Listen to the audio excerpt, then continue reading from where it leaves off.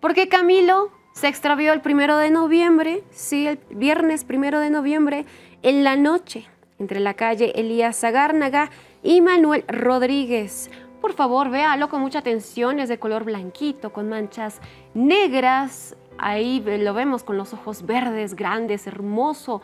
Camilo, el número de contacto 69 71 67 21.